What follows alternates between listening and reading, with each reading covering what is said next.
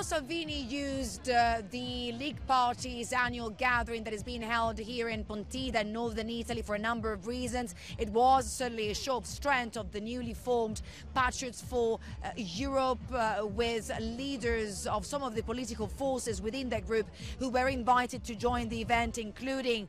the uh, Dutch uh, PVV leader Wilders and vice president of Austria's Freedom Party and the president of Portugal's Chega Party. But the event uh, focused above all on protecting borders, national security. Some of the banners, in fact, read protecting borders is not a crime and very much on the ongoing open arms trial with Salvini trying to use this event to raise his profile and gain support after Italian prosecutors